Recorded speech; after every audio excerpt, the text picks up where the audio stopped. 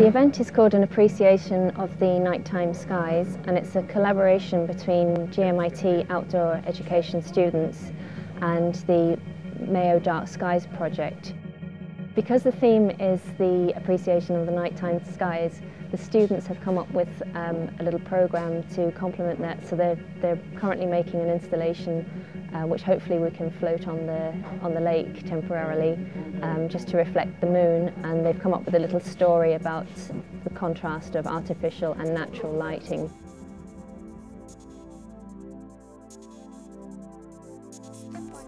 it snowballed from what was an idea that was spoken about at another event that we were at. I don't know if people are aware of the amount of light that they're paying for that's being used unnecessarily. So even just in towns and villages around the county, around the country, around the world, there's lots of lights that are being used at unnecessary times for no particular reason.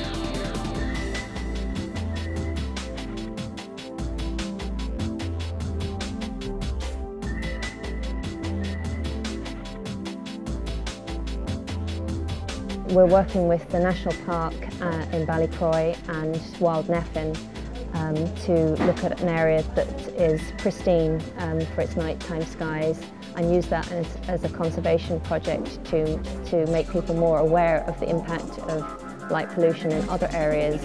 Lobby your councils, lobby your politicians to get them lights turned off when they're not needed.